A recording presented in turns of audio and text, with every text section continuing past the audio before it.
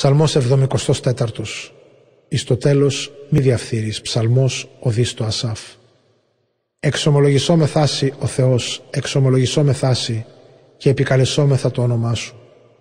Διηγήσω με πάντα τα θαυμάσια Σου Όταν λάβω καιρόν. Εγώ ευθύτητας σκρινώ Ετάκι η γη και πάντες οι κατοικούντες εν αυτή. Εγώ εστερέωσα τους στήλους αυτής. Διάψαλμα. Είπα της παρανομούσι Μη παρανομείτε και της αμαρτάνουσι μη υψούτε κέρας. Μη επέρετε εις ύψος το κέρας ημών και μη λαλείτε κατά του Θεού αδικίαν. Ότι ούτε εξ εξόδων, ούτε από δυσμών, ούτε από ερήμων ωραίων, ότι ο Θεός κριτήσεστη τούτον ταπεινή και τούτον υψή.